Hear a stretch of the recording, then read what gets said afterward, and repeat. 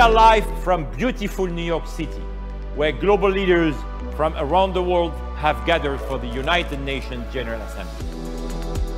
We really want to think about the future generation. Health is wealth.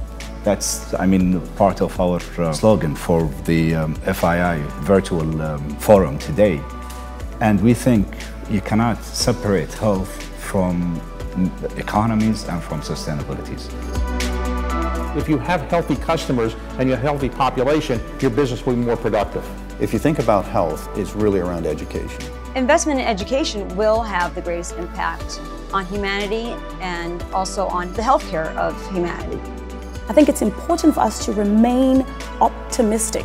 We want to be here. We want to enjoy this beautiful planet. We want to enjoy this beautiful life that we have. We also want to be able to uplift those marginalized populations around the world.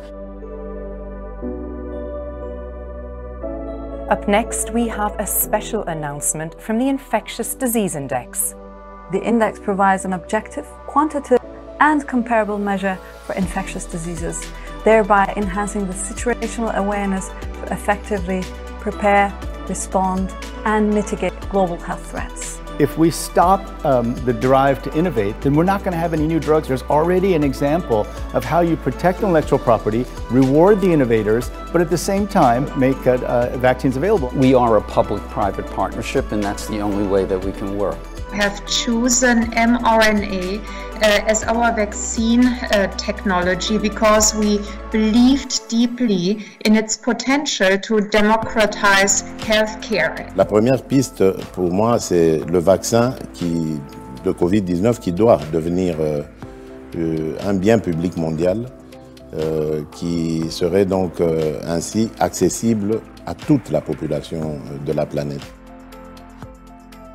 80% of the developed world has had one vaccine and 20% less than, and if we're talking some countries, probably in single digits. But you've gotta have a conversation led by people like Akin and, and Ngozi that says it is in your interest to ensure that Africa has vaccines.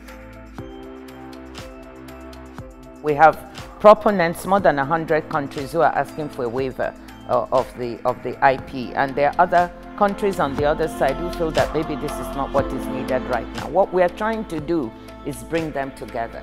We have long-term views. We don't want to exploit all of our resources overnight or one year or two years or three years. I think in the longer term, you, you will benefit. Millions of small ethical choices in how we live made by millions of people around the globe moves us towards a better world.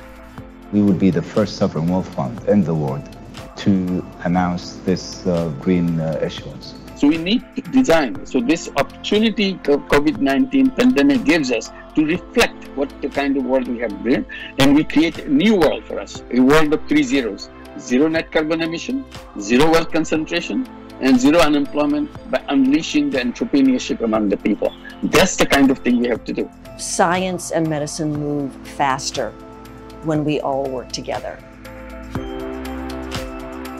We have one agenda at the FII Institute, and our agenda is humanity.